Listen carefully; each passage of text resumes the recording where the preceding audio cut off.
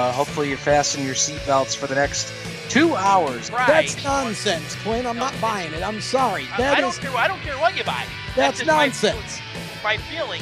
You're not just buying a racetrack. You're buying you're buying a piece of American racing history right there. I mean that that's huge. The history behind the track just mind-boggling. You hear a lot of rumors in the rumor mill.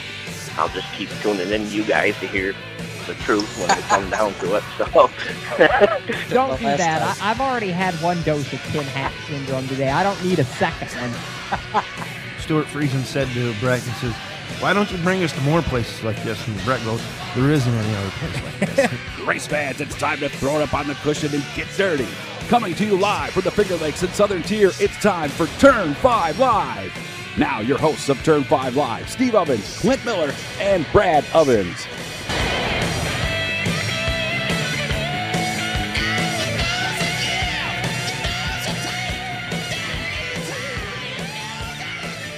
Oh yeah, baby! Broad sliding out of turn four, ready to take the green for tonight's edition of Turn Five Live here on the Performance Motorsports Network, your voice for motorsports. And uh, you can find us on Facebook. Search facebook.com slash turn five live. You can find us on Twitter at turn five live.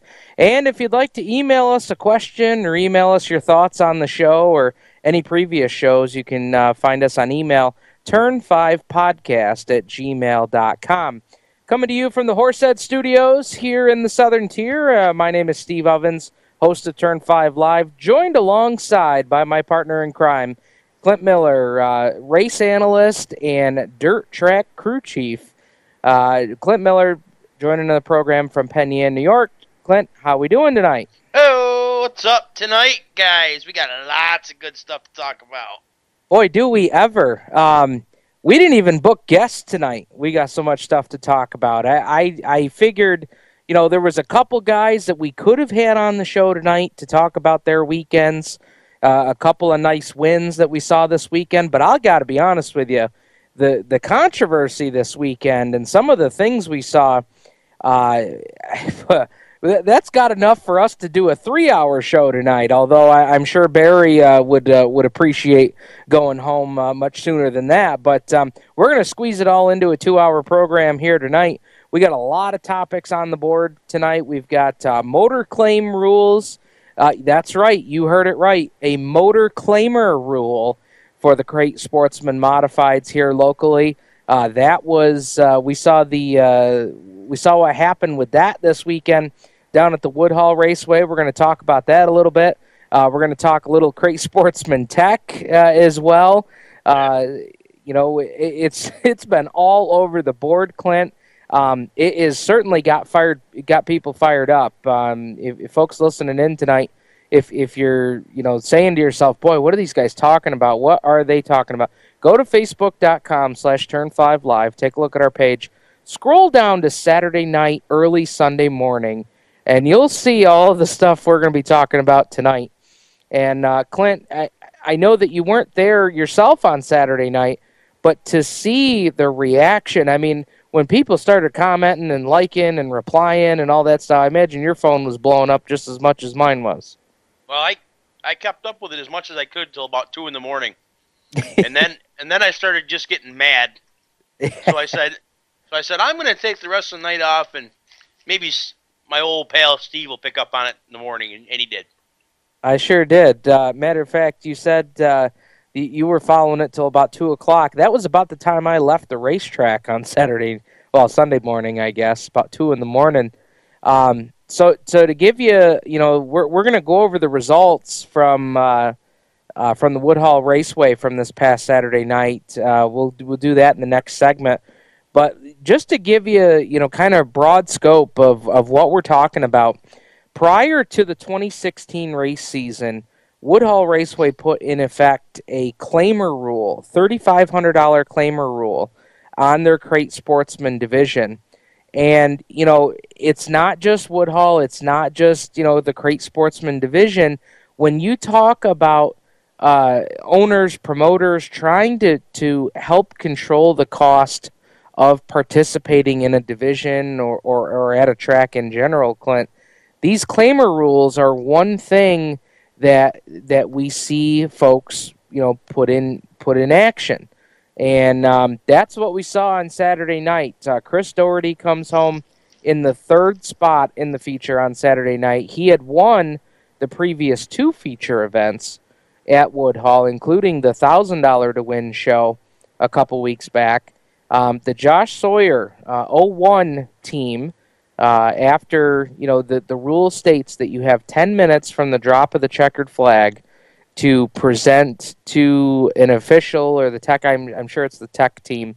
Uh, $3,500 for a claimer, and you can claim a motor. You can claim one motor per year, per calendar year, and that's what the Sawyer team chose to do. They put a claimer on Chris Doherty's motor, the 22JZ, and at that point, uh, after the races were all over, all the gates got locked. Doherty's car was pushed over behind the grandstands, and they started disassembling. And uh, you know, there's a lot of bolt-on parts, Clint, that, that you don't take along with it. You take you take the engine itself, and you know, in in about less than an hour's time, you know, they had drained all the fluids, got it unhooked, pulled it out with the with the wrecker, and, and away it went with the Sawyer team. So, um, I'm just I'm going to throw this out there to start with, just to start the conversation. I don't get the fuss over the claimer rule. I, I you know, I think, in my opinion, and we're going to talk about this tonight. I just think that a claimer rule, hand in hand with good tech, I don't see the problem with that. What was your initial reaction with all this, Clint? Disassemble Johnny Five. That was my first one, and and uh, my second one was I think it's great. You know, and really, it benefits Chris Doherty in the end. I mean, uh, one of his I saw one of his crew guys put on on social media. Hey, you know, listen, that race was or that motor was 42 races old. You just gave us money for a new one. Now, if you know the track had taken it and dynoed it themselves and found it to be illegal, the penalty's so much worse. So I, I think that it benefits uh, benefits Chris Doherty in the end. Now, when when you heard that the claimer was put in, I mean, I, I think a lot of people when they saw this, you know, myself included, I had no idea. I mean, I mean, I I didn't go line by line with the rule book. You know, they send it to me. I post it on the website. Um, you know, as the PR guy, that's about all the involvement I have in it, and that's all the involvement I want to have in it. Yeah, but, yeah. But having gone through that process, um, it it didn't uh, it, it didn't it didn't cross my mind that you know that that claimer rule was in there and how much you know how much of a hornet's nest it would stir up if somebody actually put it into action. So, you know, Well, it, I, Go ahead. I'm a little I'm a little surprised. The only thing that really surprises me about it is that it's the third points race of the year. yeah, yeah, That that really you know boggles my mind a little bit. Uh, obviously, um, this sounds to me looks to me like it may have been something that was brewing uh, probably last year sometime because Chris finished the year strong, uh, points champion. Um, so, I, you know, third race of the year though, and I, that's that's about the only downfall that I that I I think of it. I, I think it's great rule.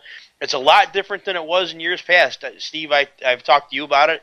Uh, your dad and I talked about it. It it used to be, you know, in the amateur class at- Dundee Speedway in the late '80s, fifteen hundred dollars or something like that, thousand dollars, you could claim the whole car.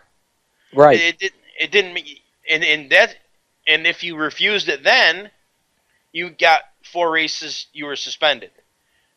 Not like now. You know, if Chris refused, he's he can't he can't race at Woodhull for another you know for the rest of the calendar year. Correct. And he gets and he gets fined five hundred dollars on top of that. Correct. So you know the claimer rule's always been there. There's just been different uh, different aspects of it, different ways to you know to go about it. And and the other thing was you had to finish like if a guy won and you claimed it, you had to finish in the top five. It, it wasn't it wasn't yeah you just have to be on the lead lap. Gotcha. You know, Gotcha. So, it, so seem it seems like back then the the rule was a little, I, I guess, a little stricter than it than it is now because it's it's so rarely used. Now, one thing that I think some have called into question with this whole predicament over the weekend was, you know, I see a lot of people, and and in our next segment we'll go over the Woodhull results, and then after that we'll we'll dive into some of the comments that that we got. Um, you know, a lot of people fired up about it. Um, so the uh, I guess I guess what. Uh, I guess the the thing that that is interesting to me is the fact that um, you know everybody is is calling into question the tech team, and and again, you know, my feeling on the whole thing was is that you know you can you can have a claimer rule in effect, you can have good tech and, and have it go hand in hand, but you know, I, I don't understand the people that are that that come across and say that just good tech would eliminate the need for a claimer rule. So I, I don't I don't necessarily understand that. And, and to be completely honest, I mean, Clint, what was it a year, two years ago? We were hammering Woodhull pretty hard on this show about Crate Sportsman Tech. A lot You're of right. people were. We weren't the only ones. Um, and, and so I feel like since that point, they've done a much better job. I mean, when when that whole you know uh, predicament was going on of people calling into question the tech team and and having all these cheated up crates at Woodhull and all that stuff, how many of them did they find? They found a ton of them. Yeah, You know, they did. They found Almost half the field. One, almost, half the field one night. Exactly. So so because somebody claimed a motor, I don't want to hear the garbage of well they the tech needs to do a better job. Good tech this, good tech that. Uh, that to me that's garbage. That's a garbage argument. And unless you are and and most of these people that are calling, you know, well if they did good tech, they wouldn't need a claimer rule. A lot of these people have never even been to Woodhull, first of all. And second of all, if they have been, they probably don't know the tech guys or, or don't know the tech team. They don't know the job they're doing. So unless you have that information, I feel like that's a really bold and unge- uneducated statement to be making. So, um, Clint, like I said, we've got a lot to discuss tonight. We're going to step aside here. We'll bring Brad in. We'll do the Woodhull results. We'll do it next here on Turn 5 Live on the Performance Motorsports Network, the voice of motorsports. We're growing like crazy and need account reps who know their way around agencies, the internet, and social media. Got connections? Or do you know how to get to the decision makers? Are you fearless? We need you. Internet radio, or as we call it, wireless mobile radio, is rapidly becoming the place to be with almost limitless income potential. So contact us to get involved with the fastest growing professionally produced group of internet radio stations in the world. Your imagination is the only limit here. Call 717 749 0444. That's 717 749 0444. Or you can email us at scorpionradiogroup at gmail.com. You want to ask for Sue. Okay, so Sarah, I'm dropping you off at Emily's? Yep. And Josh, you're going to? Soccer, Dad. Soccer practice. Right. Oh, by the way, I just wanted to let you know when I pick you both up, I'll be wearing my short shorts. What? No! Yep, and my dorky dad hat, and I'm gonna do my dad dance for all your friends. They'll love it! Seriously? Why? Because I like my short shorts. Of course, I could be talked out of it if you guys would just buckle up your seatbelts without giving me a hard time.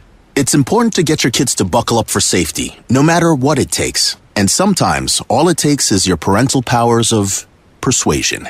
Okay, okay, we're buckling up. See, all buckled. Good choice. I'll just have to do my dad dance at dinner time. What, what? No!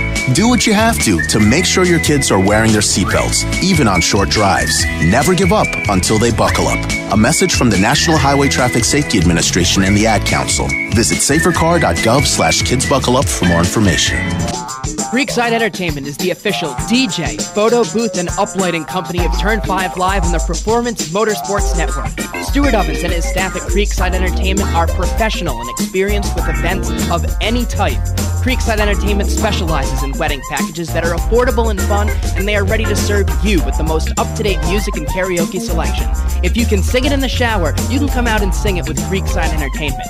And don't forget about the Creekside Entertainment photo booth and uplighting service that will transform your wedding or party into an event the family will be talking about for years. Trust the entertainment company that racers trust. Call Stu at area code 315-481-9700 or visit them online at creeksideentertainmentdj.com. You can also find them on Facebook and Twitter. Creekside Entertainment, division sponsor of the Black Rock Bandits in 2015. Fans. This is Kelly Hebing, and you're listening to Turn 5 Live on PMN. Welcome back, race fans, to Turn 5 Live here on the Performance Motorsports Network. Uh, Steve Ovens, Clint Miller, Brad Ovens joining you on the program tonight. And uh, if you are listening in on the TuneIn app, we welcome you aboard to the show. Uh, understand there's a little bit of an issue with the Listen Live link on the website. So, uh, of course, uh, as every episode is um, posted, we will have the uh, recording posted on the uh, Turn 5 Live uh, YouTube channel. So be sure to look out for that, and uh, Brad or Clint will have one of you guys just post that real quick on the Facebook page so that the folks know they can grab the TuneIn app. And what an opportunity to download the TuneIn app so that you can listen into all that. But um, so, um, Brad, uh, welcome into the program. Um, we're we're talking uh, all of the controversy from the weekend while you guys were playing down in Middletown. Um, I'm sure you've had a chance to see some of the comments, read all the happenings, and, and what was going on. Um, just uh, before we get into results here tonight, uh, any uh, initial reaction to to uh, all the uh, all the hubbub uh, about the motor claim this weekend? You know, I my initial reaction was, "Wow! I didn't know the sportsman class had a motor claim rule like that." Which I kind of thought the whole premise of the sportsman class was to, you know, everybody's on the same playing field as far as the motor goes, as far as spec wise. I didn't really understand where there would come in with a uh, motor claim rule, but at the same time, you know, the fact that there is a motor claim rule, I, I'm a little perplexed. I mean, it's, it's it's something that was in the rule book that somebody's taken advantage of now and they've done it but at the same time it's almost like you're giving somebody taking somebody's 12 race old or 13 race old motor and you're giving them the opportunity to go get a new fresh one uh, it kind of it's almost to me it almost kind of seems like you're buying a half-eaten plate of food from the restaurant that you're going to it's a little weird but you know, it's it's certainly interesting, and you know, I applaud the I applaud them for for giving us something to talk about. I guess. and, and, Brad, you know, there there was a lot of comments about you know the the claimer rule, and if you had good tech, you wouldn't need a claimer rule. Uh, any reaction to that before we go further? Uh, I mean, the claimer rule I mean, the claimer rule has absolutely zero to do with tech. I mean, anybody who's saying, "Oh, he, they should have just paid the five hundred dollars to have the motor torn down or dynoed or or have it teched further than what the track did," I mean, you might as well just go talk to a brick wall because you're not making any sense and you're just making a fool out of yourself, in my opinion. I mean, the claim he didn't, you know, it wasn't about tech. You know, I don't think that he even really cared if the motor got teched or not. He wanted the motor. There was a thirty-five hundred dollar claimer rule. He paid the thirty-five hundred bones to Doherty, and he got the motor. I mean, that's that's how the claimer rule works. It's not a tech issue.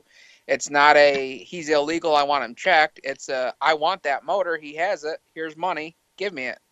I mean, it's it's it's pretty simple what what you were saying, Brad, about a, a, motor that's 13 or 14 races old. This this motor is, is rumored to be 42 races old. 42.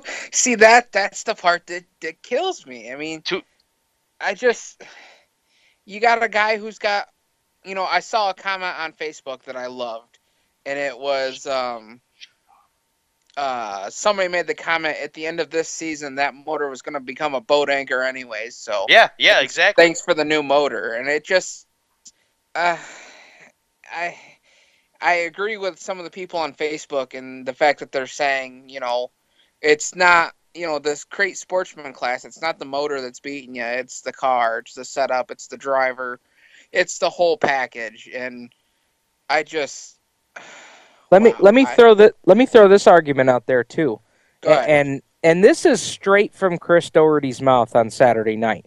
I, I Uh, stood we have there. the beeper button. yeah, no, I I think Chris was probably a, a little upset at first, but you know, eh, you know, Chris is a professional. Um, and, and this is the point I'm trying to make. You know, Chris and I had a conversation while they while his crew was helping tear the motor apart on Saturday night, and Chris looked me right in the eye, and and I know that you know, I, you know, I'm I don't, I don't got the guy hooked up to a lie detector. I don't know if he's BSing me or not, but he looked me right in the eye, guys, the other night, and he said, "Look," he goes, "Steve, this is how I look at it."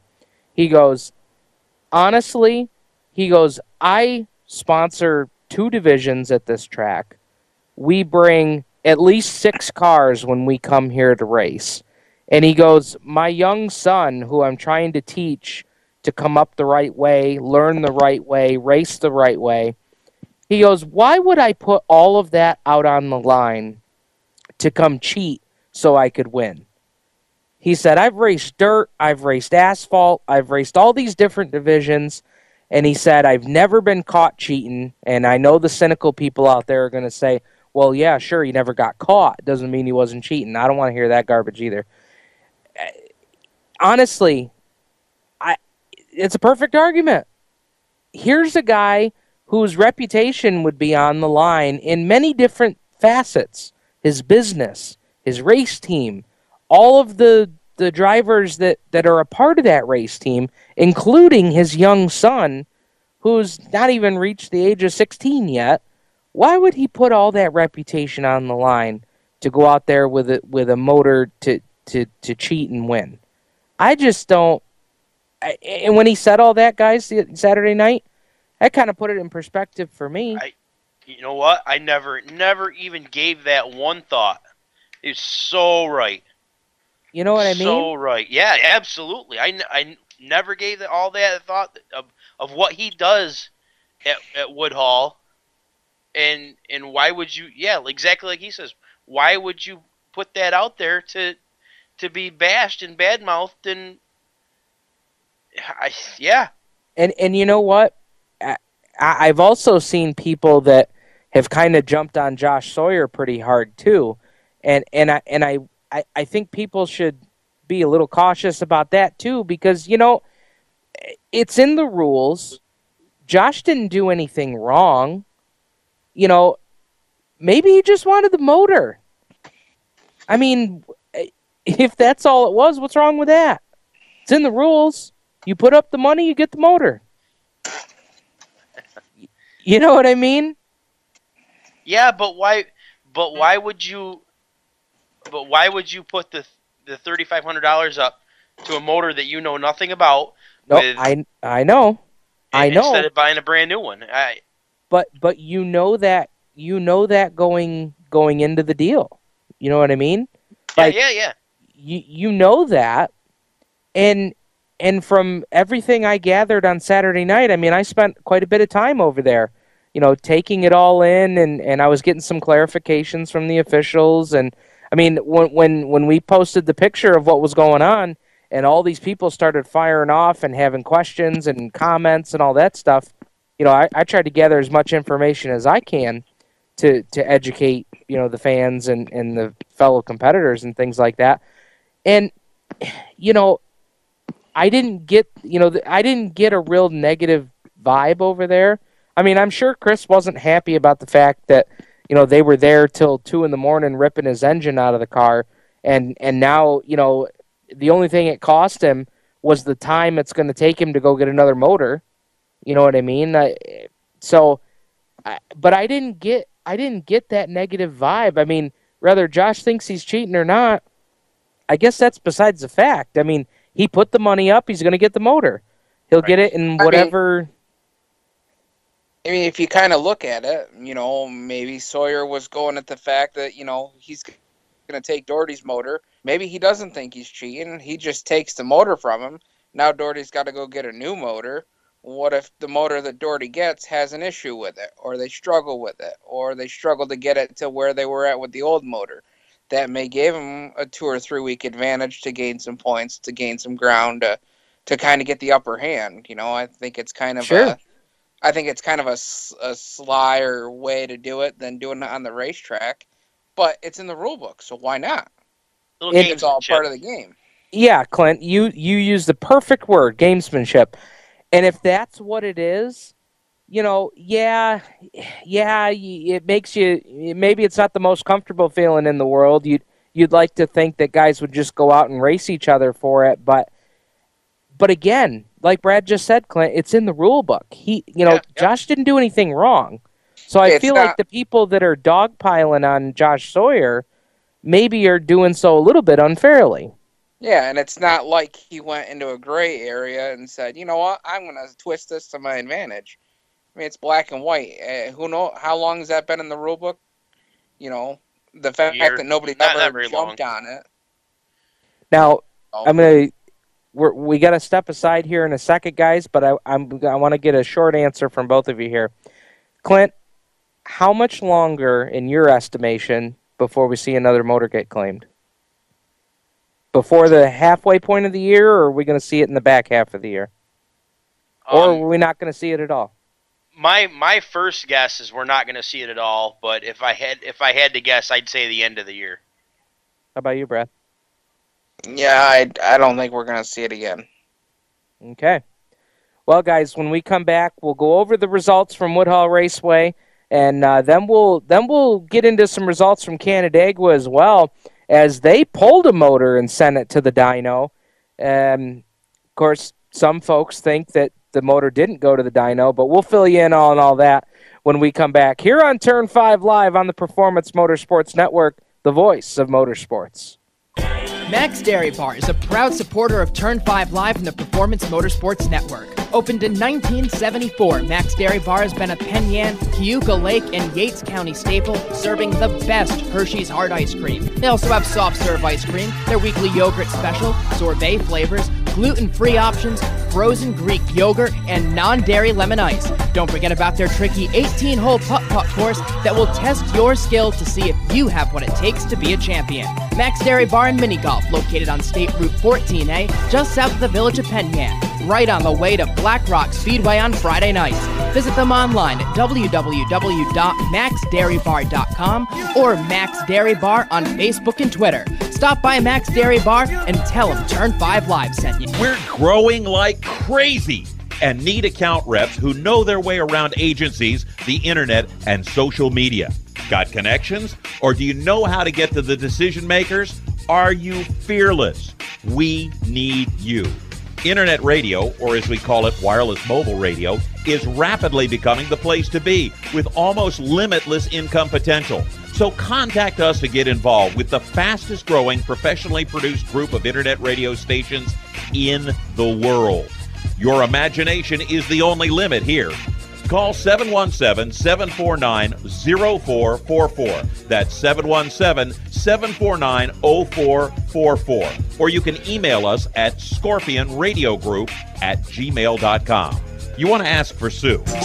Creekside Entertainment is the official DJ, photo booth, and uplighting company of Turn 5 Live and the Performance Motorsports Network. Stuart Ovens and his staff at Creekside Entertainment are professional and experienced with events of any type. Creekside Entertainment specializes in wedding packages that are affordable and fun, and they are ready to serve you with the most up to date music and karaoke selection. If you can sing it in the shower, you can come out and sing it with Creekside Entertainment. And don't forget about the Creekside Entertainment photo booth and uplighting service that will transform your wedding or party into an event the family will be talking about for years. Trust, the entertainment company that racers trust. Call Stu at area code 315-481-9700 or visit them online at creeksideentertainmentdj.com. You can also find them on Facebook and Twitter. Creekside Entertainment, division sponsor of the Black Rock Bandits in 2015. Hi, race fans. This is Nick Cooper, and you're listening to Turn 5 Live on PMN. Welcome back, race fans, to Turn 5 Live here on the Performance Motorsports Network. Stephen and Brad Ovens, Clint Miller joining you on the program here tonight. And we are going to go over to the New York's toughest bull ring, third mile bull ring at Woodhull Raceway, as we will go over Saturday night's results. Uh, second night of 2016 that the Insinger Performance 370 Modifieds were in attendance for regular racing. Uh, the night was sponsored by Kickin' Country 105.3 FM. And picking up his first win of the season uh, and first win of the season at Woodhull, Corey Costa out of Corning, New York, picked up the win. Um, he got the win. He led from the drop of the green flag, started on the front row, walked away in his heat race, and then drew the pole for the feature. And uh, so, you know, congratulations to Corey Costa. They have had a rough start to the season. They had a uh, crash at Five Mile Point, and I believe a crash at I 88. Um, uh, so, you know, th- those guys needed some good luck. They got it on Saturday night. Um, he held off Mike Bills. You know, as we wrote in the press release, you know, Mike Bills, you know, he didn't close in on Corey at the end of the race, but he wasn't losing ground either. Mike Bills was pretty strong in his own right. He came home in second. Billy Van Pelt uh, at the line gets Dylan Groover for third. Groover comes home in fourth after running in the top three all race long uh, and had a good run in that 12X. Um, Russell Morseman filled out the top five. Six through 10 was Josh Nabriga, Kenny Peoples Jr., Donnie Lawson, Boyd McTavish, and Eric Fisher. Heat race winners were Boyd McTavish and Corey Costa. Going over to the Napa Crate Sportsman, 26 cars in attendance, 25 lap feature. And after starting his season on his roof in week one, Josh Kesey put it in the lane in week number four. He got the win over Mike Jackson, who had a whale of a battle with Chris Doherty for that second spot. Jackson would hold him off, though. Doherty would finish third. His motor would then be claimed post race.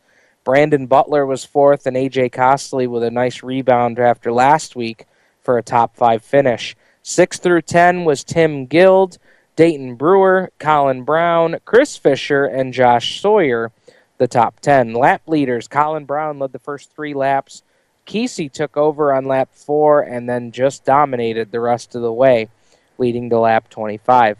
Heat race winners Mike Jackson, uh, David Mayo, Stevie Hartman III, and Chris Doherty. Moving over to the Joe Wilcox Performance Automatic Street Stocks, 20 cars in attendance for their 35 lap special, and uh, taking home the checkered flag, uh, crossing the line first, was Jeremy Petrobowski in the T1, making his first start of the season. However, in post-race tech, it was found that they had a reverse mount, revert. Uh, help me out here, Clint. Reverse mount yep. bell housing. Yep, you're absolutely and, right. And that has to do a little bit with the starter. And and again, I'm going to show my lack of technical knowledge here, but Clint, maybe you can kind of fill in the gap for me here.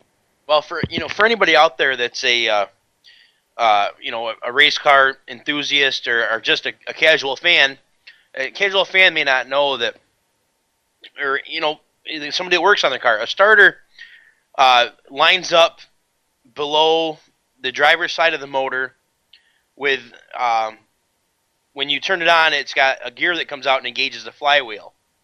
Well, with this reverse mount bell housing, you can actually mount the starter on the on the opposite side of the bell housing and so that enables you to to move that.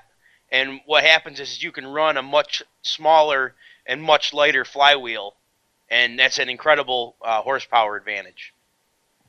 Gotcha. Thank you very much. Appreciate that.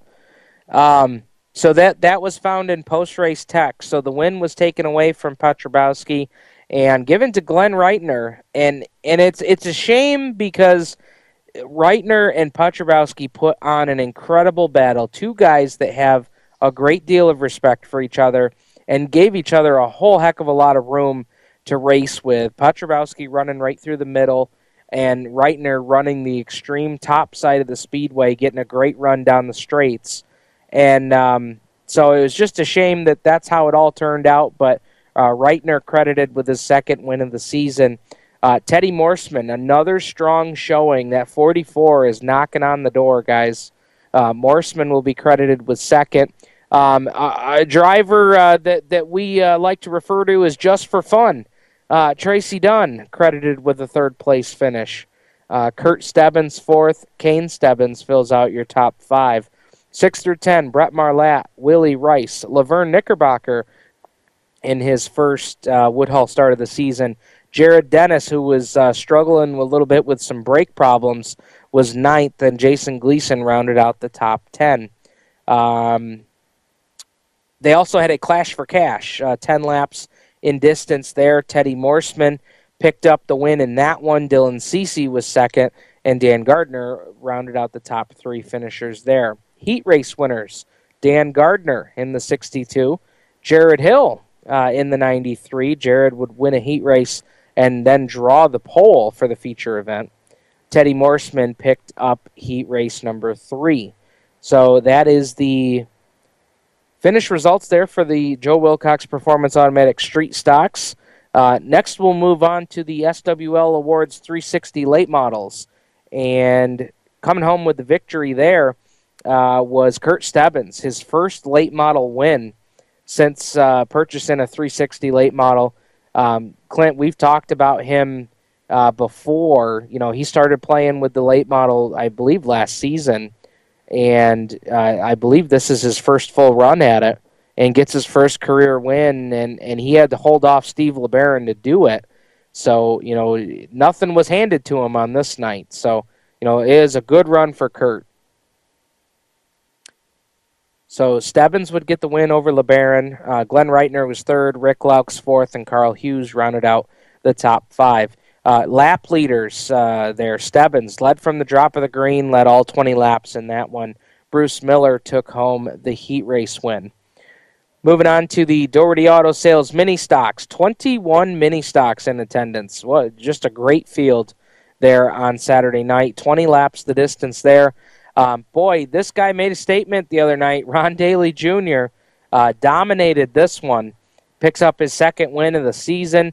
Jeffrey Doherty started in sixth uh, position on the start, moved his way up through the field, and uh, with about, I'm going to say it was about five laps to go, moved into the second spot. And boy, did he need a caution. I think it would have been fun to see what Jeffrey had for Daly Jr. at the end there, but we'll never know now. Uh, Doherty came home second. Chris Woodard, who's already got a win this season, was third. Uh, Rick Amadon was fourth, and Carl Bourne, last week's winner, and also the Napa Driver of the Week this week was the top five.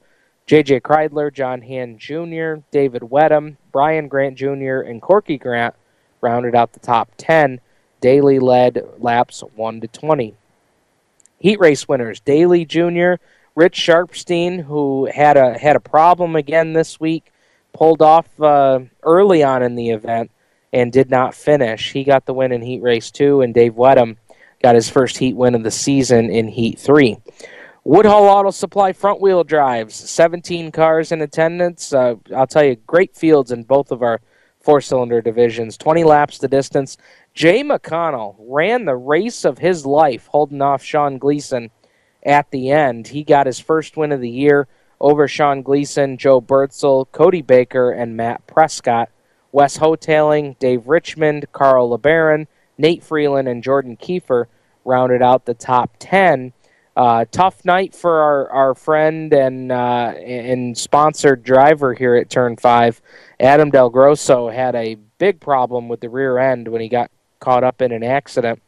And those guys have been uh, thrashing uh, all week long to get that car repaired for Saturday night. So, uh, tough night for the Maple Cream Kid uh, in the 11 car. And then the Doherty Auto Sales Warrior division Uh, six cars here, their biggest field yet so far. Uh, they picked up a new driver in Bradley Groover, and he picked up the win. First career win in his first start uh, Saturday night. Got the win over Trevor Hamilton, AJ Petrobowski Jr., Kaylee Petrobowski, Brody Amadon was fifth, and Cole Yaus rounded out the field in sixth. And I'll tell you, the Warrior, the Warrior feature was pretty rough and tumble on Saturday night. Um, they'll Oh. they'll be back on the schedule in a couple of weeks, and and I've already heard talks of getting everybody together and and having a little coming to Jesus meeting before the races. So, um, well, you, you put them on the schedule every other week, and they're anxious to get out there when it's their time to race. That is true. It, there's a lot of things, uh, you know, working into to what we saw Saturday night. One is yes, you know, I, I, I think that, you know, the the fairly inconsistent basis. I mean, every other week, every two or three weeks when they're when they are on the schedule, you know, I, I think maybe sometimes that plays against them. Um, and and the other thing too, like you said, Clint, you know, they get all they get all excited when they do get the track time that um, you know I think we saw some of that on Saturday night. And and the other thing that we saw, you know, we saw these kids out there wanting to win. You know, they were out there pushing it. You know, they were out there. They just wanted to win the race. I mean, there was three guys that that were out there, and and you know, um, and and Kaylee out there as well. You know, they're all out there fighting for spots. They just want to get out there and, and win and run well and uh, so I, I think that uh, played a bit into it as well. So, um, but we'll uh, we'll we'll get uh, we'll get all that uh, righted around. Uh, the racing action Saturday night kicked off at 6:40 p.m. End time was 11:20 p.m. The 50-50, $587. So nice 50-50 there. It was a great crowd on hand. I was I was very impressed. You know the weather weather getting warmer and and that's going to start bringing some more people out, which is great.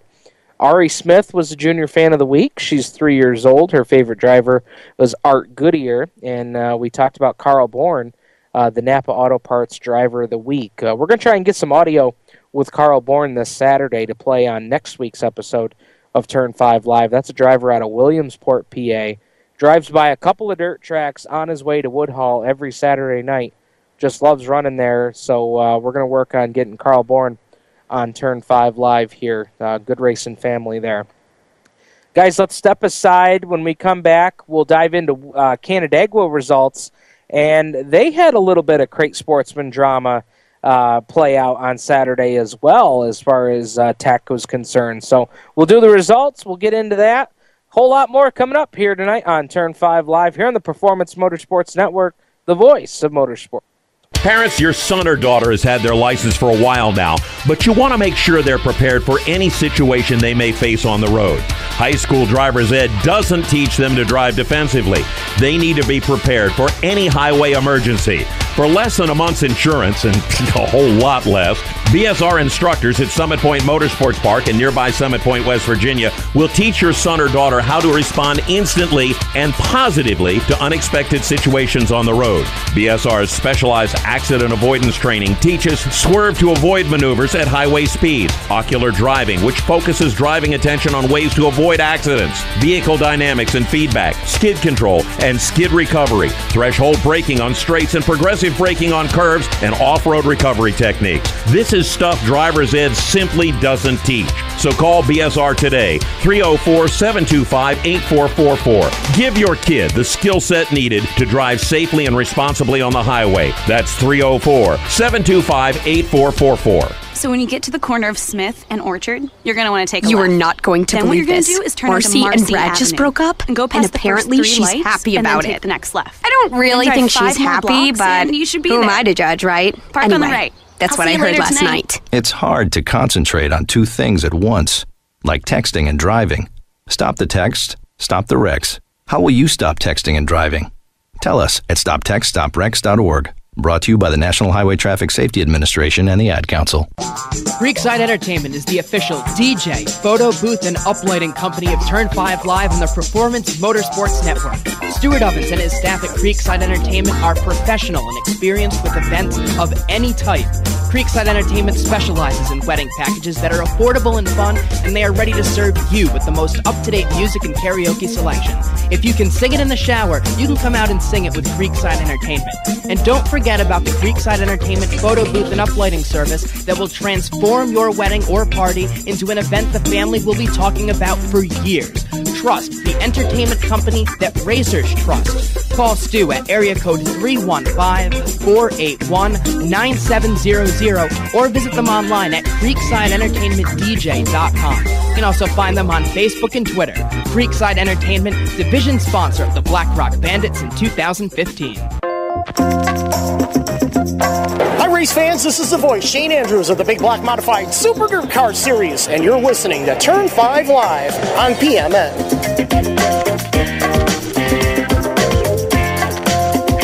All right, race fans, welcome back to Turn 5 Live here on the Performance Motorsports Network. Stephen and Brad Ovens, Clint Miller joining you on the program here. And we got right into our discussion here tonight. So before we go any further, uh, I want to mention uh, before I get fired that um, Outlaw Speedway uh, having Thursday Night Thunder this week. And uh, Clint, uh, trying to beat the rain this week. They're already calling for rain on Friday night. We've rained out three Friday nights in a row. We don't want to make it four, so we have decided to race on Thursday night. Everybody seems pretty pumped up about it. I'm sure there's uh, some places of employment that might be down a few people on Friday uh, after after uh, folks are out racing on Friday night or Thursday night. But um, yeah, so we've got that going. We're we'll talk a little more about that here in a little bit. But uh, one thing we we also want to mention too is uh, want to send uh, our condolences to the Starkey family on the loss of Skip. Uh, he was involved in a motorcycle accident on Saturday afternoon, and without even realizing it, Clint, I drove by it on the way to Woodhull Raceway on Saturday. Um, I saw all of the rescue equipment. I saw all the commotion. Um, and what was odd was you you know there was no you couldn't see a vehicle around. You didn't you know there it was just kind of a odd set of circumstances. And then we found out uh, a couple hours in at the racetrack that Skip was involved in a motorcycle accident and and uh, Skip lost his life. And and Skip was a dedicated car owner um, and and driver in, his past uh, past experience too at Woodhull Raceway, at Outlaw Speedway, several tracks around the Southern Tier. Uh, some of the drivers that drove uh, for Skip Starkey, Roger Williams, Gil Teg Jr., Dave Du Bois, and Skip was still helping Dave Du Bois kind of behind the scenes, um, even up to this year. And um, you know, Clint said that's such a loss for the racing community. It was, uh, you know, that was tough when word started going around at Woodhull on Saturday because the Starkeys had spent so many race nights at, at Woodhull as as he lived right in the Woodhull Addison area. Yeah, if you were coming from our way, you drove by his house uh, every time you took uh, 415 way and went through Addison and up over. Um, you know, when when Dad raced at Woodhull, uh, we you know, gates would always open up around 4:30, 5 o'clock, and we'd be up there at like quarter after two, 2:30.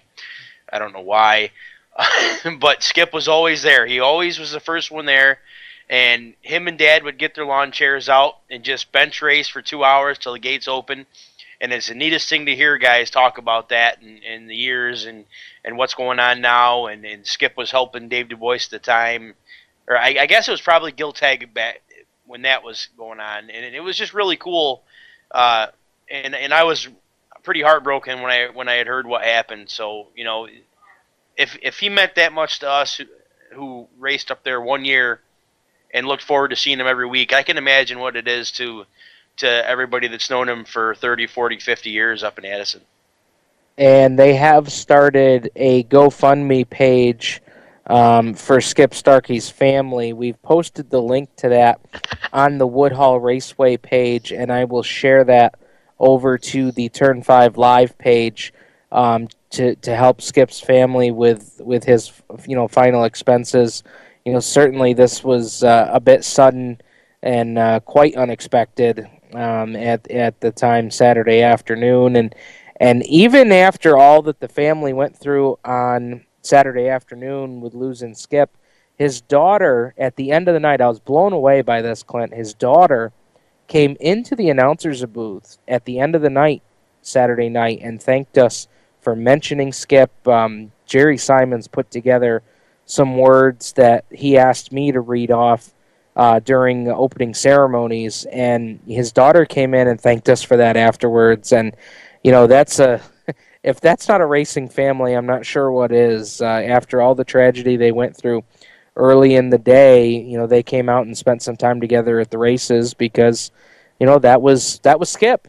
Um, yeah. Yeah. So, and, and, Dave Du Bois, you know, uh, boy, I can't imagine his thoughts uh, racing on Saturday night. Um, found out about it in the you know the, the late afternoon, about the time he was getting ready to head to the races, and um, Dave went out and raced and and had his struggles. I think he was fighting some handling problems, and and you know even if uh, the car was handling right, I you know he was out there racing with a heavy heart on Saturday night. So uh, just keep all those folks in your thoughts, uh, and, we send our condolences out to them uh, on what's been a, a, tough week for the Starkey family. Um, and again, uh, I want to uh, plug here Thursday Night Thunder at Outlaw Speedway. Race time is 7 p.m all of the weekly divisions will be in action on Thursday night. It is the first points race of the season. Um, the Patriot Sprint Tour that was scheduled for this Friday has now uh, going to be rescheduled. We don't have a rescheduled date yet. However, Outlaw Speedway and Patriot Sprint Tour working on coming together on a rescheduled date. So as soon as we get that uh, information, we'll be sure to get that out to you folks as well. But um, Clint, we're going racing on Thursday night, man. What about that? Well, I you know what I'm excited about it. I, I guess I'm just more excited about getting the getting the season going and and Tyler uh, kind of following Penn Can's lead. Who you know if if you guys don't know, Penn Can rained out or you know the rain was coming through on Friday, and they said, "Hey, listen, if we don't race on Friday, we're going to race on Monday." And and I was kind of glad to hear that that Tyler followed suit with that, moving it up to Thursday when the weather's supposed to be, you know, much much better. And uh, you know, he didn't buy the track to let it sit there and be dormant. And and it's not doing him any good. It's not doing the racers any good for uh, for us to get rained out week in and week out. And uh, and I'm I'm happy that he's trying to do something about it. I know that there's some guys that are disappointed with the decision because they have other obligations and that you know and, and they un- but they understand and, but uh, you know, all in all, I, I think it's the right thing to do. Yeah, it, it, we want to get the season started. You know, if if you wait it out till Friday, you know, just looking at what the weather's predicting, eh, you know, it's it's going to be another washout. Um, they're they're even looking. You know, I was looking at the weather for Saturday, and Saturday looks like we're going to have some wet weather too. It's going to be a little iffy um, on on any action on Saturday. So you know, we'll see what happens there. But um, I mean, I, I, I talked to a few people that were out at Penn Can. I saw a video from Penn Can, and you know, as far as cars and people, you know, I, I, I think it uh, was an okay venture for them. I don't think that it would be an incredibly great idea for a racetrack to race full time on a weeknight, but you know, for for trying to beat Mother Nature and trying to get a race in, I mean, hats off to Dan Harpel, Tyler Seary for stepping out of the box. I mean, Dan Harpel kind of led the way, and and, and from knowing Dan uh, from his time promoting in Dundee, I'll be honest, Clint, I was shocked to see Dan be the first guy to step out and try that because Dan's Dan's a very smart business guy when it comes to running a racetrack, and you know, Dan's not in the racetrack business to to lose a whole pile of money. I know he wanted to get cars on the track before their clash at the can next Tuesday, the 17th. But I got to tell you, I give him all the credit in the world because that is that is quite a limb to step out on, you know, to try and run on a Monday night. And it, from the video that I saw of one of the races, you know, it looked like maybe it was going to be an okay uh, venture there for him. So, um, I think uh, I think Thursday night is going to be very interesting. I, I really do. I think for to to try this on on a kind of a one off basis, Clint. I think this could it has the potential of being a home run. And I told Laurie Hickson and Chuck Brownell last night on their radio program. I think Thursday night has the potential of being a home run because of all the factors that go into it. Thursday could be the best night out of Thursday, Friday, Saturday to get any kind of racing in. Um, you've also had Outlaw be canceled three weeks in a row, and people are dying to go racing and to go watch racing. So yeah, and, and to see what Tyler's done to the facility. Yes, yes, exactly. So I think that's I think that I think Thursday's got the potential to really be a home run at Outlaw Speedway. I'm excited for it. Well, and, and look at it this way too. It's it's a Thursday night. Uh, there's no other tracks at race, so anybody that maybe is committed to running somewhere else on a Friday night, you know, with the, with the possibility of rain in the forecast again, maybe they come down to Outlaw on Thursday night because they just want to race. Absolutely, Clint.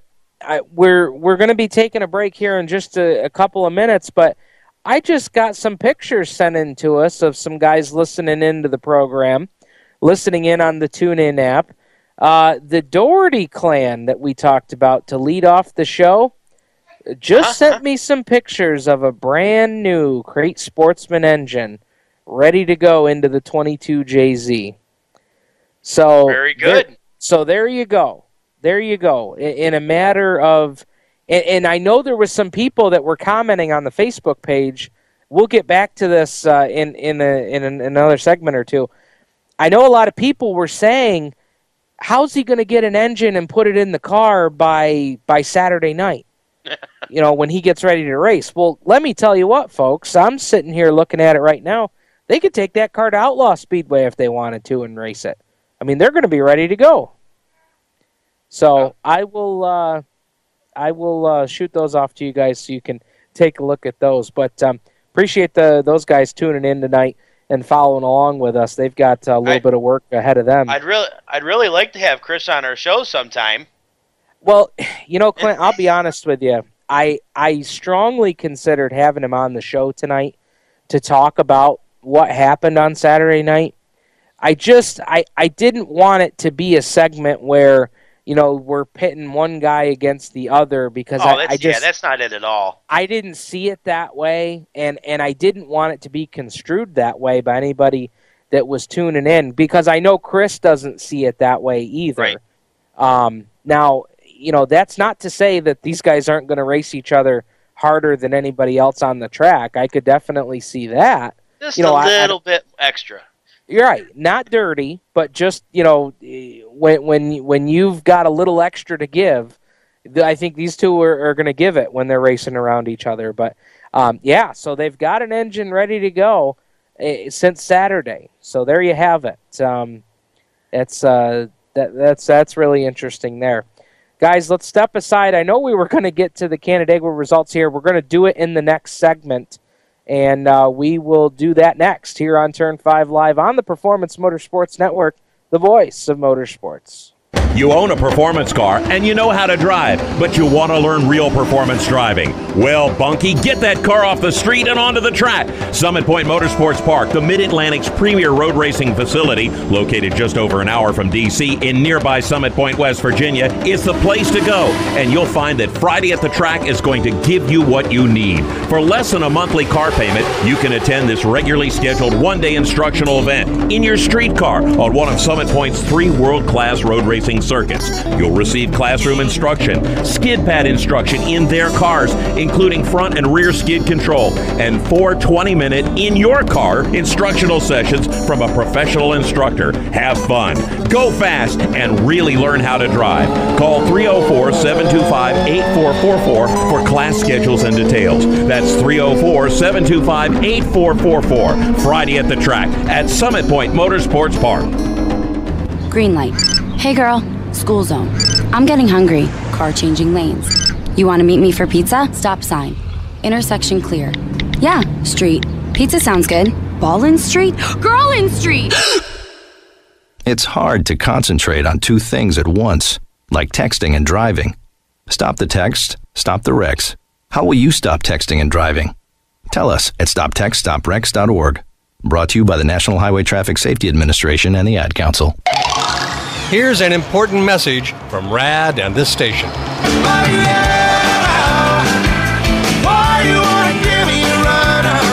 Hi, this is Bob Sheehan from Blues Traveler for RAD, recording artists against drunk driving. I like to party just as much as the next guy, maybe even more. But the one thing I won't do after I've had a few is get in the car and drive. Don't blow it.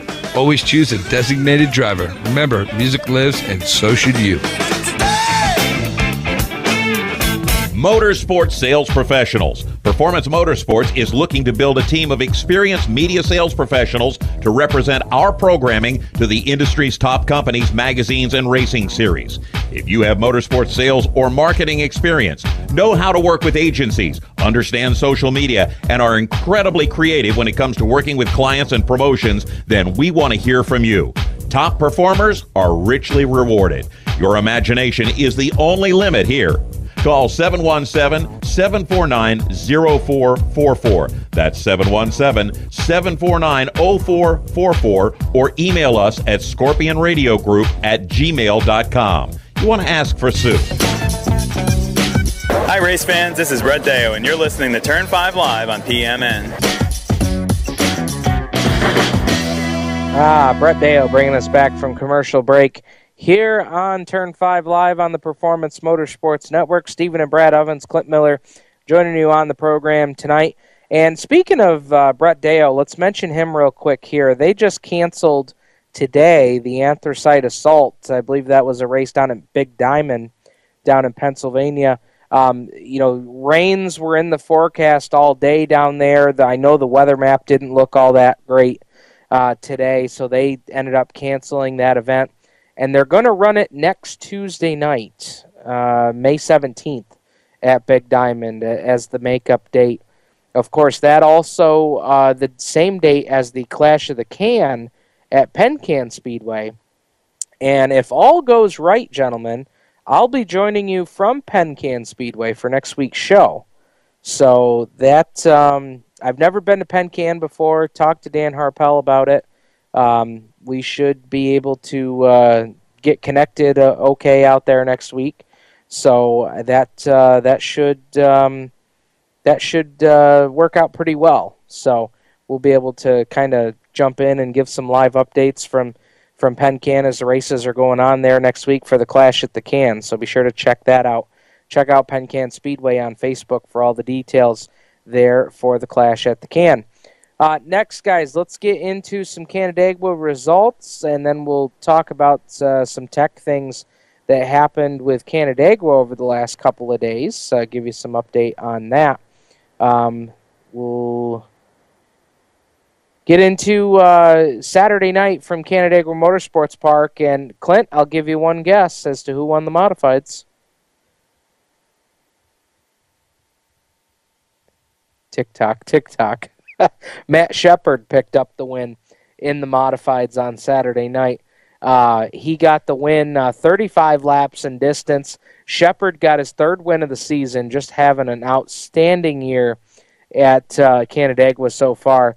Uh, Steve Paine, strong run there for the 7X, came home in second. Justin Haers was third. Gary Tompkins fourth.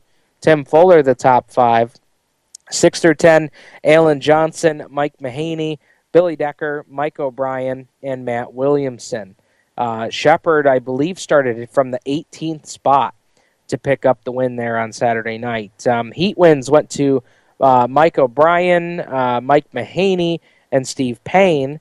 Uh, moving on to the Crate Sportsman division, and I believe this was his second win of the season for Ricky Newton, uh, who got the win there Saturday night, 25 laps in distance.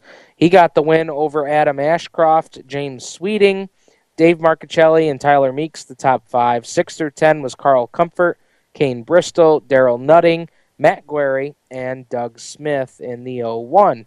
So uh, good run there for Ricky Newton. Now, Ricky Newton's motor was pulled um, post race and was taken to the dyno uh, and dyno checked over the last couple of days, and that dyno check came back clear as of this afternoon. So uh, Canandaigua, as well as Ricky Newton, announcing that uh, the win stands from Saturday night. So that was good to hear um, that all was clear there.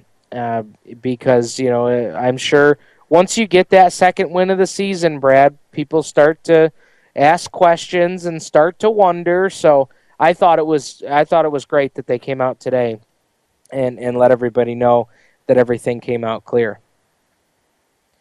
Oh yeah, you know, there's there's always gonna be people that question it, especially when a guy starts getting dominant and you know is up front every week. It's similar to the I think the hard feelings that there was at Woodhull recently, and you know it's always gonna be on everybody's mind when so one guy starts doing a lot of things right. Picking up heat race wins uh, in the crates uh, on set, uh, crate sportsman, I should say, on Saturday night. Uh, Ray Hendershot, uh, friend of the show, uh, got a heat win in heat race number one. Kevin Root won heat race number two. Ricky Newton took the third heat race, while Gibbs, Matt Guerry, picked up the Consi on Saturday night. Crate late models, um, 15 lap feature for the crate late models. Chad Homan. I understand Chad Homan had almost a half track lead, if not a half track lead, at the end of that one. Uh, he got the win over Adam Sixt, uh, Steve Pisaric, Frank Guerry Jr., and Ed Stratton, the top five. Um, Sixt took home uh, the heat race win in the crate late models. Uh, feature event 15 laps for the street stocks and pure stocks, and Mr. Smooth does it again at Canandaigua. Mark Minutlo got the win over Blaine Smith, Jason Doty, Sean Lloyd, and Derek Excel, the top five. Quinn Sutherland took the win in the street stock division. He got the win over Charles Harvey. Uh, picking up the heat race win was Mark Minutlo. Uh, Canandaigua Motorsports Park, uh, A Verdi night. There, uh, they had the Patriot Sprint Tour on hand as well and the 25 lap win. Dun dun dun dun. Steve Poirier, all the way from Quebec, got the win over Brian Howland, Jason Barney, Jared Zimbardi, and Dane Larenk, the top five.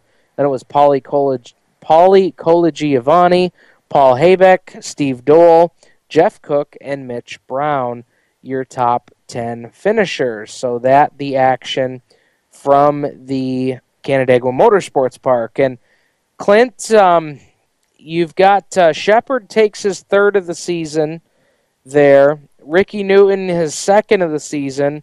They pull Newton's motor. They send it to the dyno. It all comes back clear this afternoon.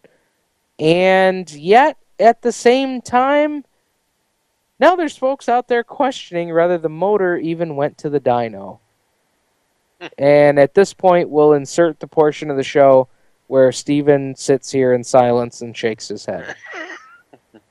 I, I think you can uh, pretty much put all three of us in that category. Um, you know, but the the, uh, the people that are questioning it have valid points. I, am not saying right, wrong, and different. I'm not going either way on it. Yeah. Um, but I mean the, the the point they were making on on Facebook this afternoon, from what I saw, was Mother's Day was Sunday, and you know having taken the motor on Saturday night or Sunday morning, whenever they took it, you know it was an awful awful quick turnaround.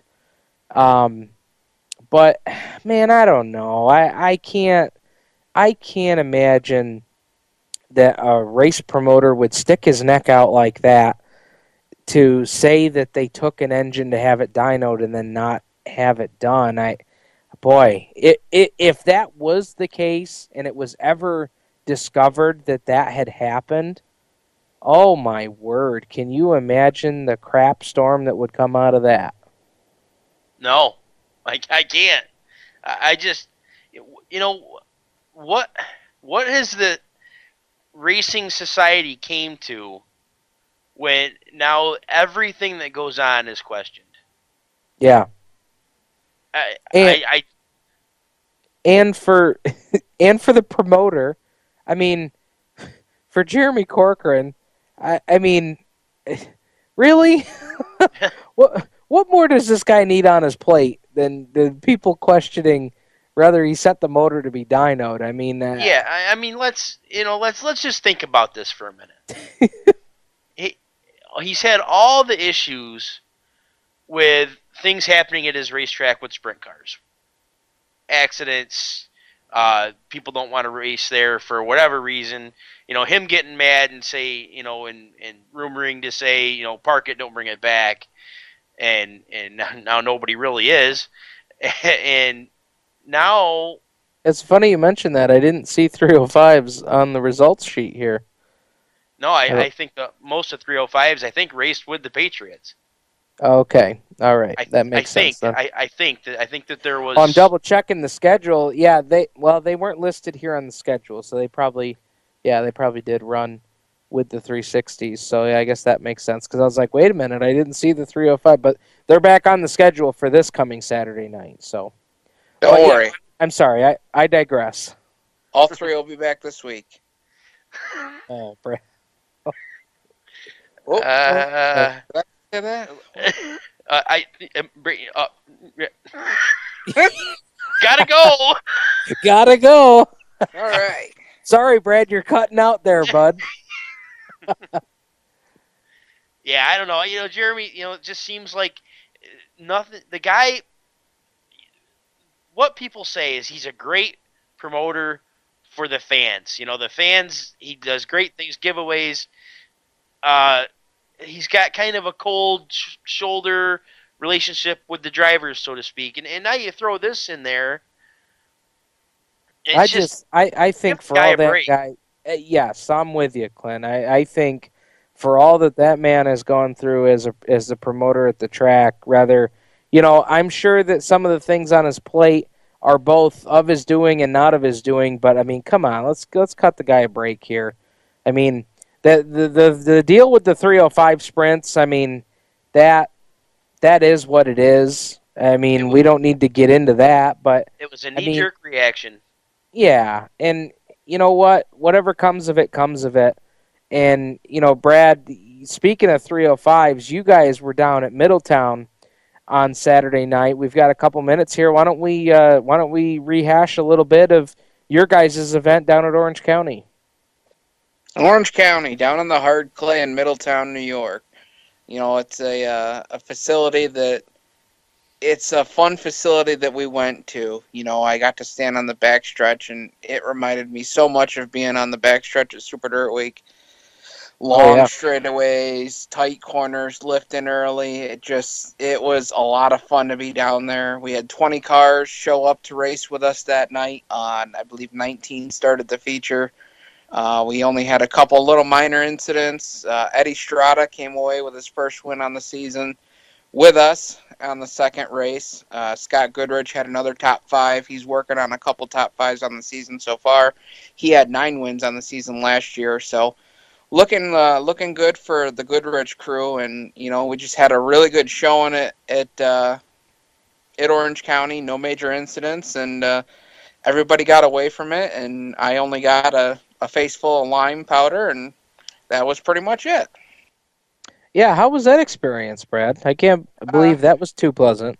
You know, when you got a bucket full of powder, you probably shouldn't smash it down on the top, bottom, or smash it down on the bottom, looking into the bucket to try and get the lime to break up because it comes exploding out in your face, and oh. it's fine.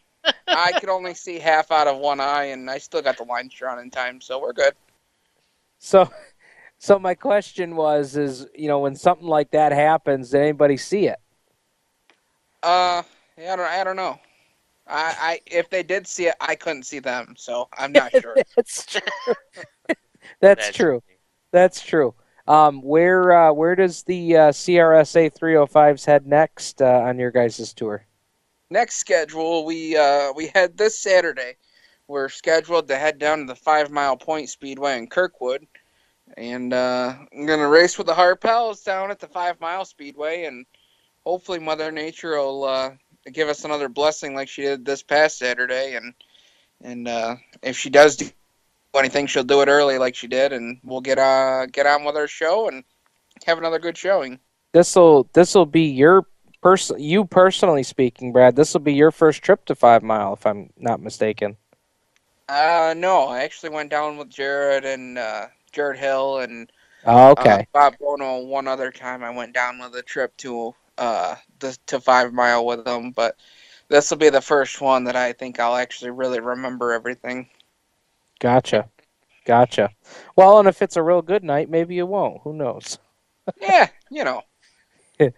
All right. Well, thank you, Brad, for that CRSA 305 Sprint Tour update. Guys, we'll step aside here. When we come back, we'll uh, get back into uh, some more. Uh, we'll get in. We'll we'll discuss a little bit some of the comments we've got this past weekend about the motor claimer rule, and uh, we'll get some reaction to that. So stay tuned. More Turn Five Live coming up next here on the Performance Motorsports Network, the voice of motorsports. For 17 years, Stock Car Steel has been a leading materials supplier to the racing industry. Now they're also an official motorsports content partner of Race Chaser Online.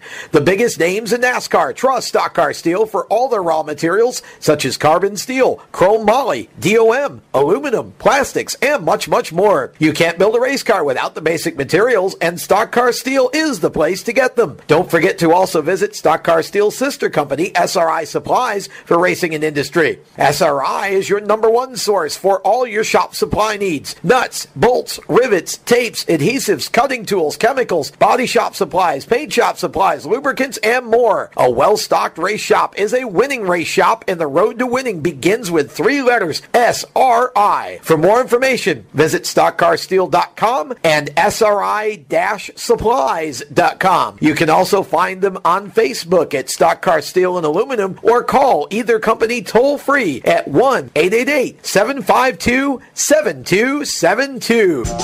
Creekside Entertainment is the official DJ, photo booth, and uplighting company of Turn 5 Live and the Performance Motorsports Network. Stuart Ovens and his staff at Creekside Entertainment are professional and experienced with events of any type. Creekside Entertainment specializes in wedding packages that are affordable and fun, and they are ready to serve you with the most up to date music and karaoke selection. If you can sing it in the shower, you can come out and sing it with Creekside Entertainment. And don't forget about the Creekside Entertainment photo booth and uplighting service that will transform your wedding or party into an event the family will be talking about for years.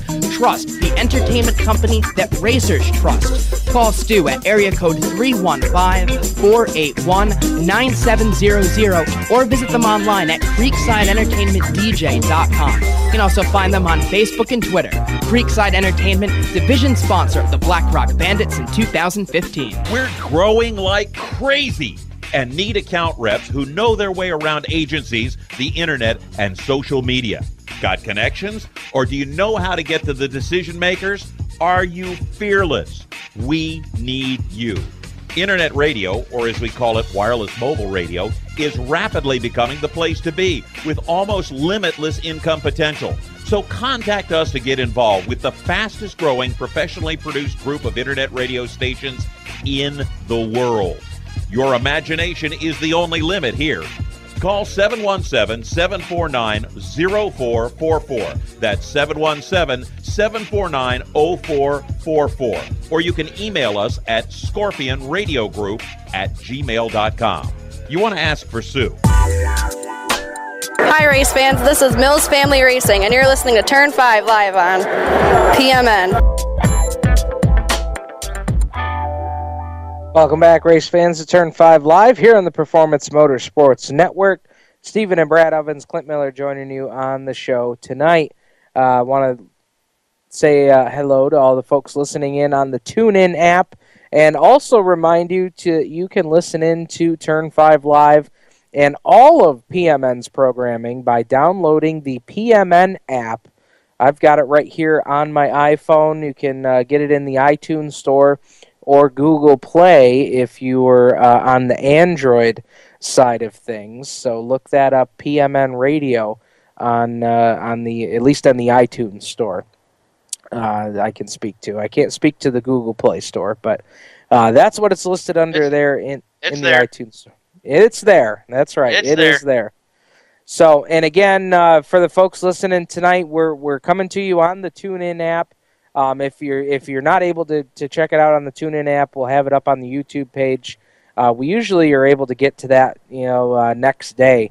Uh, Barry worked so hard to, to get that file sent to us, and uh, I'll work on getting that uh, up and running tomorrow, in case you didn't get a chance to listen live. But um, guys, we're gonna we're gonna review some of the things that uh, folks have been talking about this weekend, and it's yeah, Brad, YouTube. um, some of the comments uh, from this weekend with the whole uh, the whole motor claim, uh, tech issues, all of that, uh, all of that stuff. Um, Clint, as I'm reading down through some of these, was there any that really stuck out to you before we uh, before we look at some of the comments we got in this weekend? Uh, just trying to explain to people why, you know, a lot of people don't understand that, you know, a lot of people made references towards uh, doing it to a modified and not not getting the concept that it it's just in the crate class. Yeah.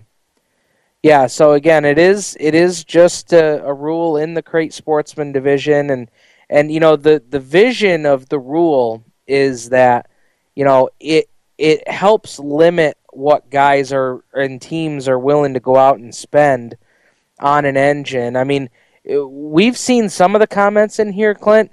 You could go crazy and and spend seven, eight thousand dollars on a crate sportsman engine to get what some people are calling here the pick of the litter.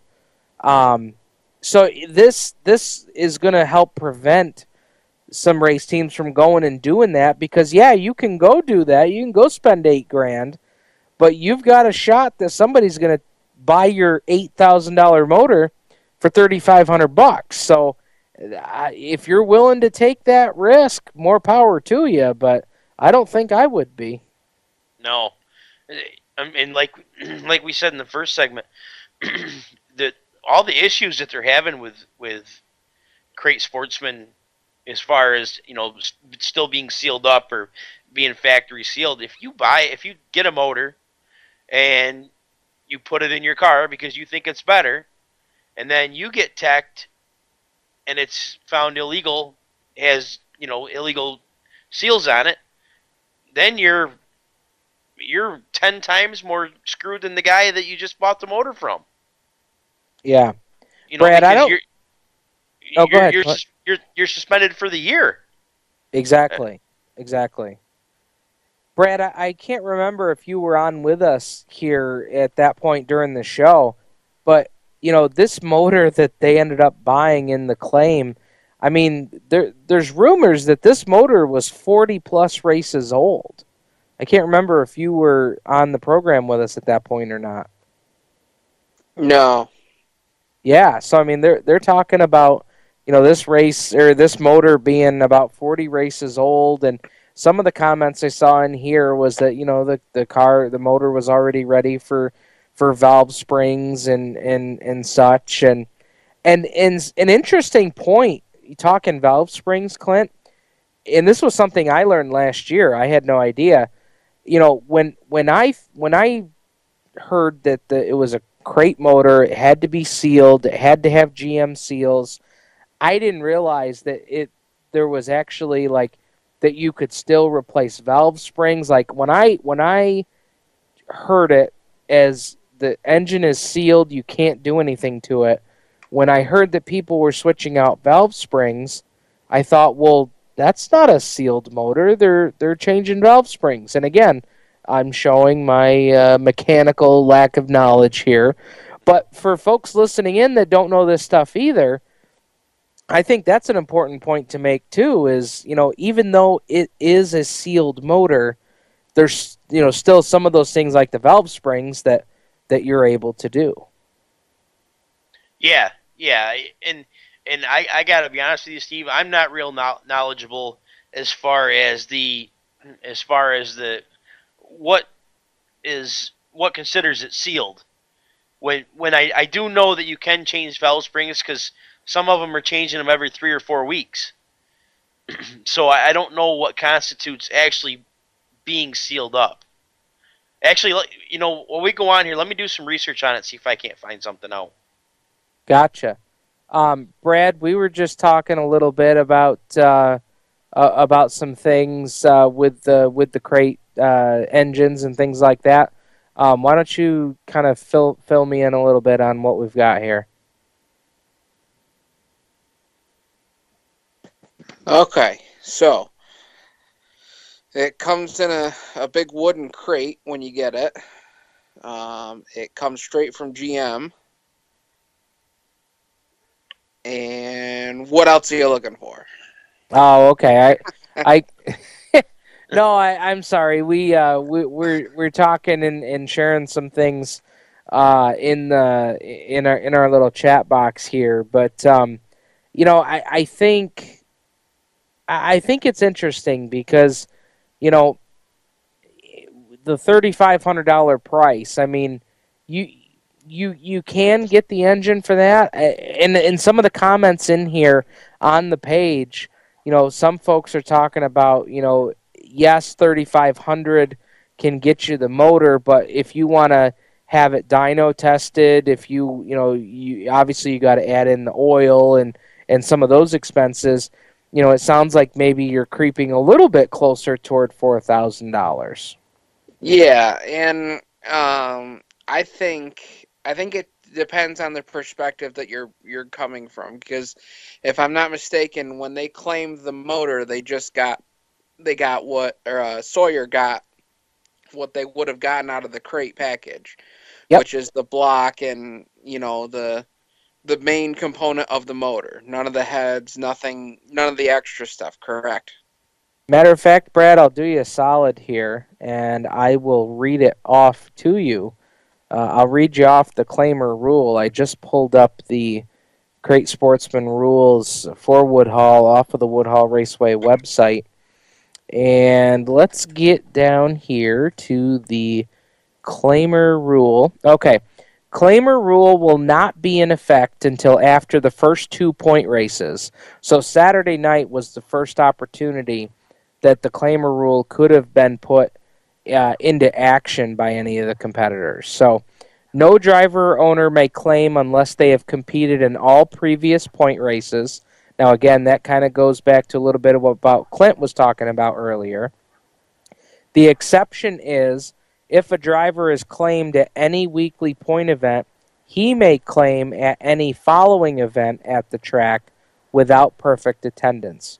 So if you come in on a one off and have your motor claimed by somebody who fits the criteria, and you come back later in the season, you have a claim uh, in your pocket that you could use if you wanted to.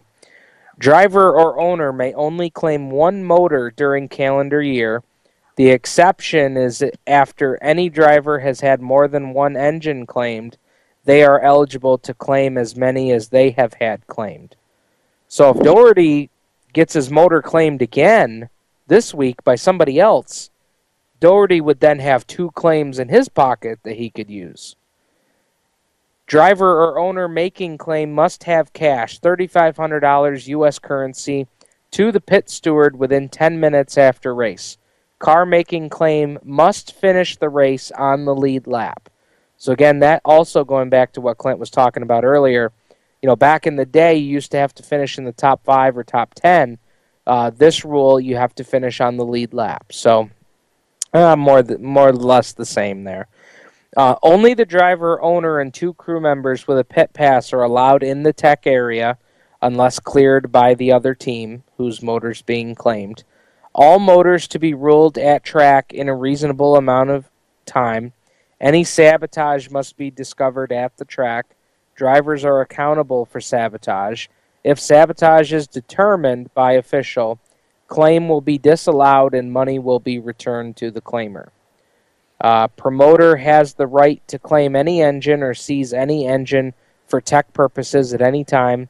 The claimer gets motor in crate form, no carburetor, heads, uh, or excuse me, no carburetor, headers, fuel pump, or water pump.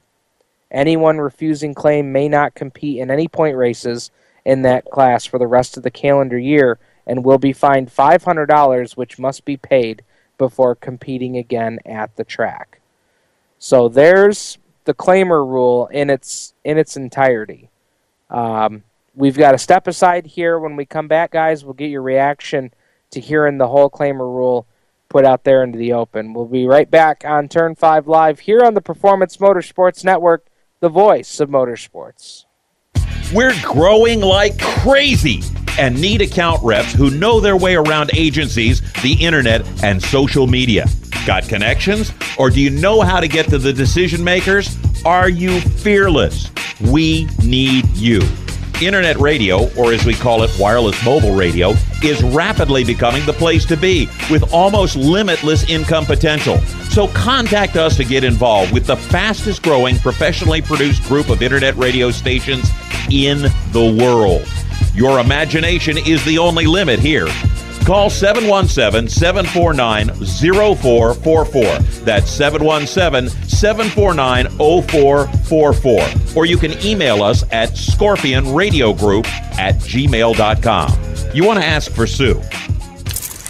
Okay, so Sarah, I'm dropping you off at Emily's? Yep. And Josh, you're going to? Soccer, Dad. Soccer practice. Right. Oh, by the way, I just wanted to let you know when I pick you both up, I'll be wearing my short shorts. What? No! Yep, and my dorky dad hat, and I'm gonna do my dad dance for all your friends. They'll love it! Seriously? Why? Because I like my short shorts. Of course, I could be talked out of it if you guys would just buckle up your seatbelts without giving me a hard time.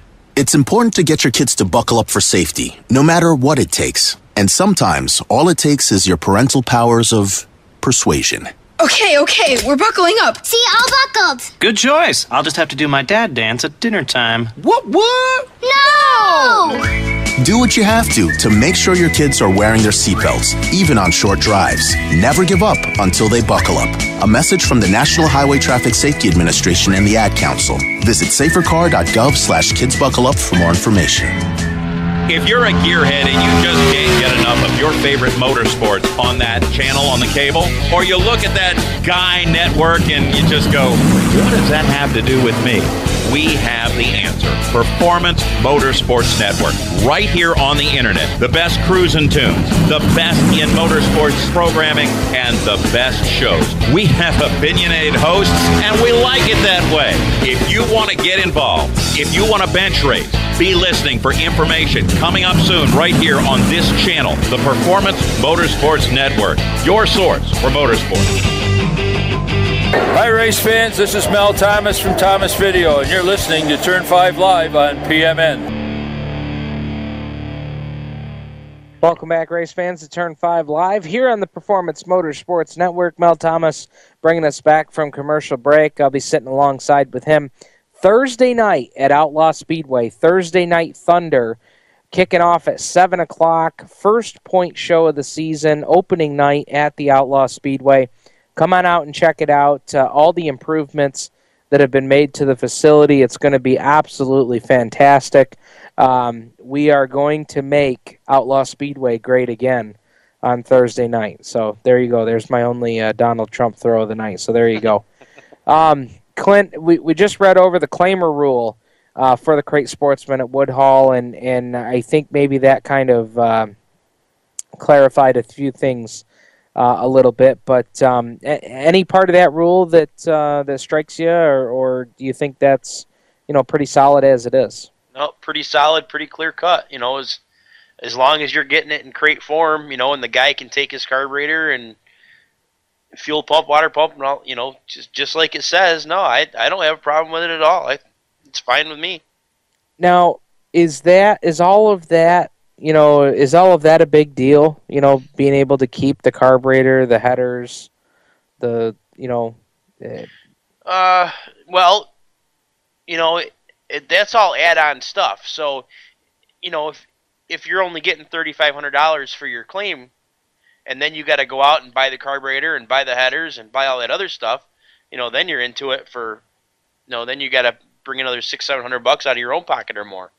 Okay. Yeah, All right. and, and I think that was my point. Was he got thirty five hundred dollars for the claim, but he also paid thirty five hundred dollars for a a brand new of what he just gave away. So it's not like he's got to go out and rebuy all this stuff that Right. all these guys are talking about. Oh, he's got to get a carb, he's got to jet it, he's got to do. Well, if he's, it's a GM crate motor. It's a 602 crate motor. What's the jetting going to be different for, other than the fact that it's a fresher motor? You know, I just these guys are talking. Oh, it's going to cost them upwards of four grand to put it on the dyno. It's a 602 crate motor with a 6200 RPM rev chip, I believe it is. What? What do you? We're not running the Moody Mile. What, I yeah. mean, you're gonna get. You're gonna jet it, and you're gonna get what? Four horsepower out of it. I mean, It's not. Please. It's not like you. It's not like you're Matt Shepard and you want you getting a motor from X guy and you want it dynoed to find out where you can make your horsepower. exactly. There's only I mean, so much just- you can do with these. you got these guys that are complaining, oh, it's going to cost them this, and he's going to have to do this, he's going to have to take it to the dyno, and it's like, well, you're you're running a crate sportsman class. This is supposed to be the economic class that the working man could get into to race in, and you're, you know, it it just. It makes me feel like you're trying to take a soapbox derby car to the wind tunnel. It just makes no sense whatsoever. It And does they do not it all- make sense. and, and yet they do it all the time. Yeah. Now I, I was, you know, when I was so that I was going to look at, you know, what makes a what makes a crate engine sealed. Uh, our good buddy just for fun, Tracy Dunn's out there listening. In, sent me a text. Uh, the intake has a seal on it. The timing cover has a seal. Oil pan is sealed, and each head is sealed. Also, the seal bolts on each of those are sealed. Um, you can change valve springs, and and by sealed means you those cannot be tampered with. Those have GM's factory seals in them. Those cannot be tampered with. And you can change valve springs, but they have to be the, the 602 valve spring. Eh, They, you can't you can't go out and buy a, a you know a Edelbrock valve springs for it. They have to be the crate 602 you know, that, that would come with it normally. They just get weak, and that's why people replace them every three or four weeks. And and when they get weak, Clint, what what effect does that have on it? Well, then then you do start losing horsepower. Okay. So that's a that creates a horsepower issue. Yes, it does. That that does create a horsepower issue. And, and you when when you change them, you can't you can't put a different pressure on them because obviously you, you get a stronger tension the more horsepower you're going to put out. And I also want to mention, um, talking about the uh, the seals, the GM seals. I know for a fact that the the crate sportsmen at Canandaigua run a specific Canandaigua seal that an official uh, last year it was Greg Hickson who would go to the guys and girls and or guys and gals and whoever got a new crate motor would go and they would install the Canandaigua seals. So it was a Canandaigua official installing the Canandaigua seal on the car. So then when, you know, they come through the tech line, either you've got the GM crate seal or you got the Canandaigua seal. It's it's it's crystal clear. And I imagine if you've got the Canandaigua seal, that that's got to be recognized at other places too, or or is that where having the paperwork comes into play? I I know there is a form of paperwork that Greg used to have when he would go to seal a motor. Um, I believe the paperwork, ha- you know, maybe we could uh, check with uh, Nick Guerreri on this because I'm sure they've done it a bunch of times. I'm sure he's got to have some sort of paperwork that's stating that you know he signs his name to it, saying that we took the GM seals and installed our own Canandaigua seals, and I believe the Canandaigua seals must be uh, a dirt legal seal as well. Um, I'm not 100% certain on the specifics, but I know that Canandaigua has their own seal that they use. and let now now I I think we're gonna have to find some verification on this, but if say you take it to an engine builder and your motor is found to be tampered with, that engine builder has a lot on the line.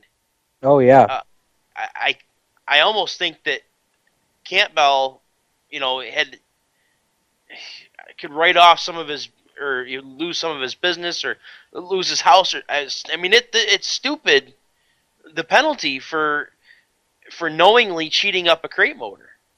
Yeah, for those places, and this I do know that in in talking to several people about this last season, yeah, it, any of those uh, engine builders, speed shops that are certified by General Motors to reseal an engine, yeah, if they find, you know, if if a track, GM, whoever finds that they are they are tampering with engines that they are then sealing, yeah, there is some steep penalties uh, there uh, if they're if they're doing any of that. So yeah, I I do remember that conversation from last season uh, coming up, and and you know, guys, I, I think this is starting to churn an idea a little bit here that maybe we need to get a hold of of one of these guys that are doing that. You know, whether it's Campbell or, or you know somebody else.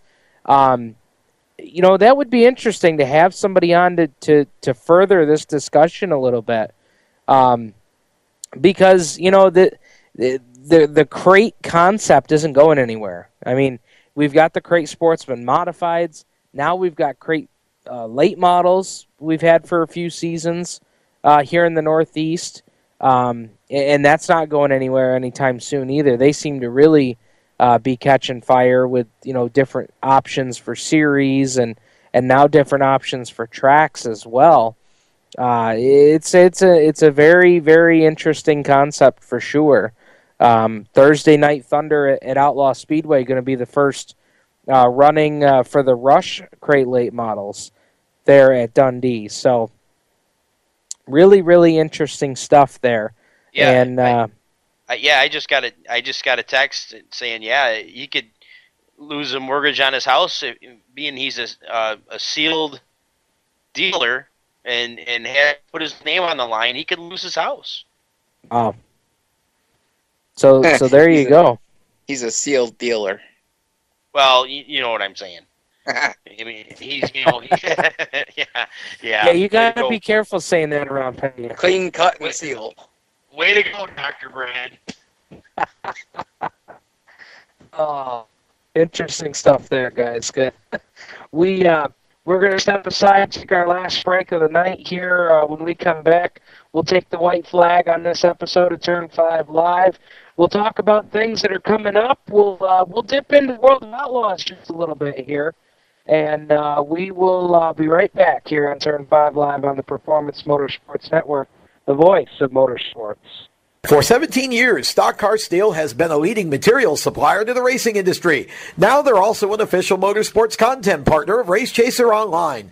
The biggest names in NASCAR trust Stock Car Steel for all their raw materials such as carbon steel, chrome moly, DOM, aluminum, plastics, and much, much more. You can't build a race car without the basic materials, and Stock Car Steel is the place to get them. Don't forget to also visit Stock Car Steel's sister company, SRI Supplies, for racing and industry. SRI is your number one source for all your shop supply needs. Nuts, bolts, rivets, tapes, adhesives, cutting tools, chemicals, body shop supplies, paint shop supplies, lubricants, and more. A well-stocked race shop is a winning race shop, and the road to winning begins with three letters, SRI. For more information, visit stockcarsteel.com and SRI-supplies.com. You can also find them on Facebook at Stock Car Steel and Aluminum or call either company toll free at 1-888-752-7272.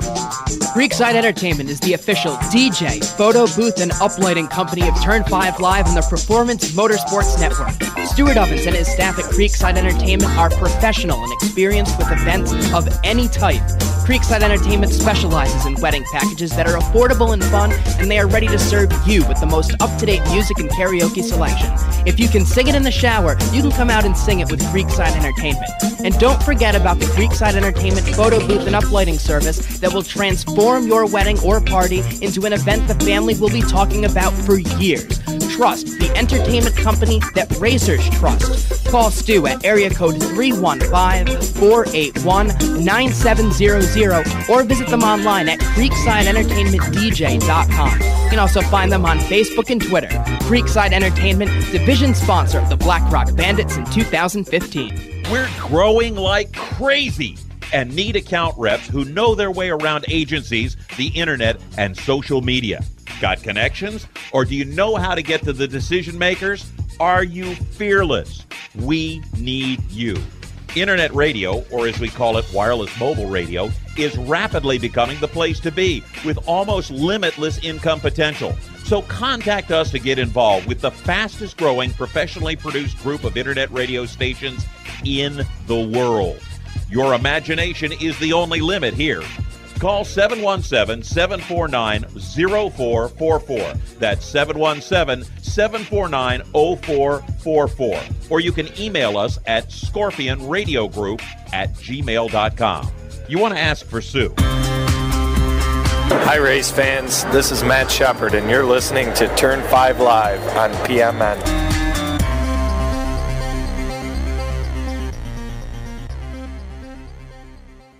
Welcome back, race fans, to Turn 5 Live here on the Performance Motorsports Network. Uh, Matt Shepard bringing us back from commercial break here. And, guys, as we get ready to close out the show here tonight, um, let's take a look here. Uh, guys, we, uh, as we get ready to close the show out here tonight, we, uh, we're getting ready to uh, get into our final segment guys, somebody finally produced a video of Gary Archer's flip from this past Saturday at Woodhull Raceway. And if you haven't had a chance to see it, I just shared it to the Turn 5 Live page uh, on Facebook, facebook.com slash Turn 5 Live. And you're going to want to check this out because uh, I, I'm actually in the process of taking a look at it myself he went for an incredible an incredible ride there Saturday night. I I hadn't I hadn't seen it yet, Steve. Um, I just saw the picture that we posted uh, to the Turn Five page of just uh, just getting ready to start the flip. Um, so I was kind of curious, but those those barrel rolls are tough. Brandon, yeah, you know that's I uh, I was just starting to take a look at it there. Uh, you know, anytime you go off, just from uh, having Steven describing it to us there, you know, it sounded like he was going full bore down the backstretch and just kind of. It's almost like he just missed a turn or thought the straightaway was twice as long as it was, and you know, I haven't seen the actual footage footage of it yet here, but uh, you know, anytime you get a car rolling in a concession barrel like that, you know, it, it, I, I immediately think back to the Steve Brace accident when he rolled the super stock down the front stretch at Dundee. You know, I just I don't think I've ever seen a, a car roll that many times as fast as it did going through the air and just as violent as it did. You know, it's it's a scary thing when those th- those cars start to roll in a a good concession barrel like that. Well, guys, rejoining you here and taking a look at the video, um, you can see the entire crowd. You know, that, that's the one thing that strikes me is, you know, in a heat race, you know, there's not a lot of cars on track. Everybody's pretty much watching the same action at the same time, and it's uh, it, it's so interesting that you know the the entire crowd stands up to to see what was happening there in turn four. So, um, and Brad I'm going to have you guys kind of take over here. We're having a little technical difficulty as we uh, take the white flag here. Yeah, you know, and uh, it's just it's it's good to know after a, a hard accident like that that he was okay, and you know it, it's good to see everybody walk away from a an accident like that. But uh, it's definitely something that you know, it's it's it's a big possibility in the sport, and it's one of the things that we have to deal with. And and thankfully, with the way safety innovations have gone in the last five ten years, you know, guys are able to walk away from stuff like that. Yeah, I mean, uh, you know, I've, I've seen a lot of them over the course of, of the last few years, and uh, there's gentle ones, and then there's ones that aren't so gentle. And you know, I haven't looked, I haven't saw Gary's yet, but if you were watching the Cup race at Talladega, um, I'm not saying that was an easy barrel roll, but uh, Chris Buescher, the roll that he did, he never seemed to really hit hard on, on any of the sides of the car, roof of the car. It, it looked as gentle as a barrel roll could. So there's definitely different types. Oh yeah, absolutely. Yeah, that, that's for sure, guys. Uh, I'm joining you back here by phone. Um, and and before we close out tonight's show, guys, um, uh, wanted to touch quickly on uh, the World of Outlaws this past weekend out at uh, Eldora. Uh, two races at Eldora, two wins for Kerry Madsen. Um, so you know when when, when we saw that, uh, that was that was really really interesting because you know Kerry Madsen uh, picked up a huge win there last season. I believe that was in the Kings Royal. Uh, so for him, just a just a huge win, a pair of them this this past weekend uh, at Eldora, and then for the World of Outlaw late models, you had both uh, you had both uh, Scott Bloomquist as well as Shane Clanton pick up wins, and uh, it, it uh, moves Scott Bloomquist up the win list as far as the World of Outlaw Craftsman late models go, and um, so that was uh, that that was pretty interesting there. Um, Clint, uh, you talk about Kerry Madsen uh, getting a couple of wins. I mean, he's becoming a pretty potent guy at Eldora. Yeah, he is. And what's um, what's even more impressive is he's not full time with the Outlaws this year. He's uh, you know picking and choosing uh, where to go, and uh, to have him come out and be as successful as he was at Eldora is not a surprise, but uh, was definitely uh, was definitely not. I didn't. I didn't think that we were going to see that.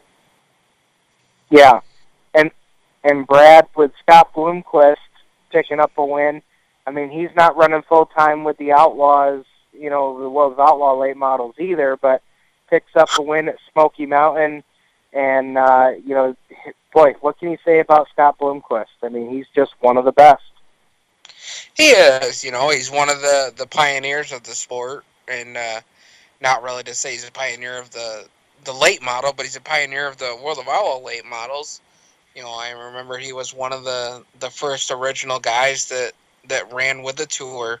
So, uh, I mean that, and the guy's just so knowledgeable. He's he manufactures his own chassis. He's got the the the skill set and the know how, and he's he's got everything going on up top. When he can put everything together and and put it in the car and get all of everything um, set together the way it needs to be, you know, he's unstoppable as long as he's got that few extra eight or ten pounds. and then Shane Clanton, he picks up a win after not winning since uh, the Dirt Car Nationals. I believe the date was back on February 20th was his last win uh, on tour. And uh, boy, we saw Shane Clanton win the championship there last season. And uh, you know, after not winning since Dirt Car Nationals, it seems like they're back on a roll. So these guys, that that 25 car could be one to watch. Yeah, absolutely.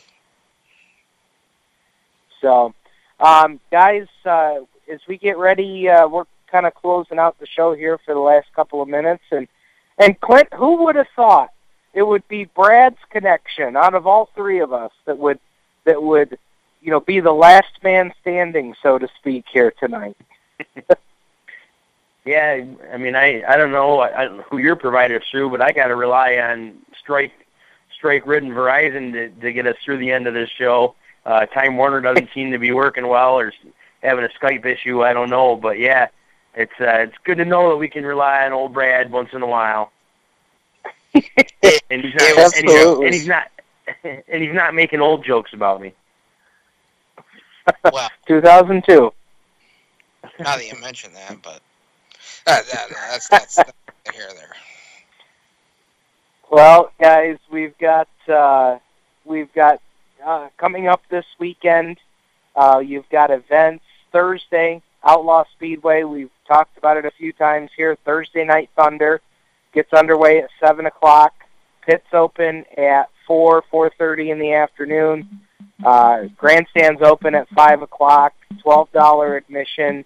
Ten dollars for seniors. Uh, Twelve and under always free pit price uh, there on Thursday night, thirty dollars, and uh, it is going to be, you know, it is going to be history in the making, uh, and it's going to be interesting, guys, to see who will write their names first in the history books, as the Speedway now is going to be called Outlaw Speedway. Um, we've got Matt Shepard will be coming in on Thursday night.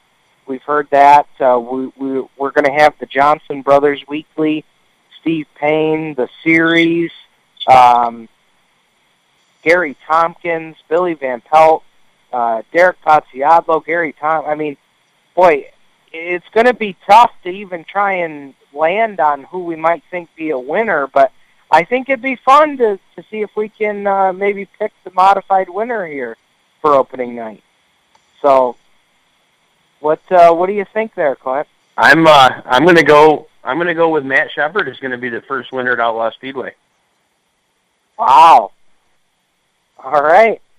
Going I, I, going you know, with I, the I, I don't have any reason. I don't have any reason not to right now. The guy is the the fastest thing on four wheels right now in Canandaigua, and you know he's running well the, the dirt car series with you know his own team. So I I, I have no reason not to pick him. How about you, Brad? Yeah, definitely Matt Shepard. You know, like Clint said, it's it's hard to go away from a guy who's on a hot streak. You know, that kind of a hot streak, and you know, it just happens to be that his hot streak has lasted the last two or three years. All right.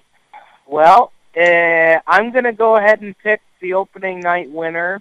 And my basis for this pick is the fact that he was just bad fast during the hot lap night, which seems like it was two months ago. Um, I'm going to go with Billy Van Pelt. I think Billy Van Pelt gets it done. He won the uh, the the Rumble at the Rock last season when the track was known as Black Rock Speedway, and this race is only 30 laps in distance. That was, uh, I believe, a 50 lapper, and he just barely held on at the end. So in a 30 lapper, and he gets a good redraw for the feature event, I think that 78 car might just take Grant Hilfiger home another win here in 2016. So those are our picks uh, for the friendly Ford and Dodge modifieds coming up Thursday night at Outlaw Speedway. Uh, Clint, anything else we'd like to uh, throw in here tonight? Uh, no, let's let's just get this racing season started at Outlaw. You know, what? let's let's have a good Thursday night. We're you know we're gonna go out and we're gonna go weeknight racing for a little Thursday night thunder. Uh, get the monkey off the back and get the season started. All right. How about you, Brad? I'm just ready to see a race over there, and and uh, you know, kind of basically reiterate the same thing Clint said. Let's go. And not only that, Brad, but you know you'll you'll be able to attend and no worries of sprint car schedules or anything that night. So that'll be cool.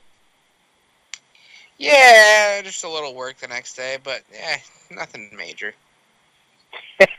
yeah, I think a lot of people, myself included, are in that boat for sure. Um, Yeah, I again, mean- uh, You really don't need to be awake to draw blood. It's pretty easy. yeah, okay. Let's uh, we'll we'll keep your employer out of this so people know what draw station to avoid on Friday. so, uh, folks, thank you so much for tuning in this week. Again, you can follow us on Facebook Facebook.com slash Turn 5 Live, Twitter online at Turn 5 Live. And again, you can listen to all of the archived episodes of Turn 5 Live on the Performance Motorsports Network on our YouTube page. Go to youtube.com and search Turn 5 Live. Thank you, folks, for tuning in tonight. We'll be back next week with a full breakdown from Thursday Night Thunder, as well as all the local dirt tracks here in the Northeast. Thank you for tuning in. Good night, everybody. We'll see you next Tuesday for another edition of Turn 5 Live on the Performance Motorsports Network.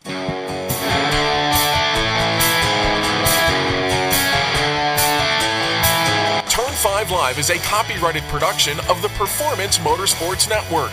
PerformanceMotorsportsNetwork.com is a member of the Scorpion Radio Group Incorporated and may not be rebroadcast, replicated, or saved in any media without the explicit written permission of PMN. The opinions expressed on this program are those of the host, co host, and guest, and do not necessarily reflect those of the management and ownership of either the Performance Motorsports Network or Scorpion Radio Group Incorporated, the advertisers, or marketing partners.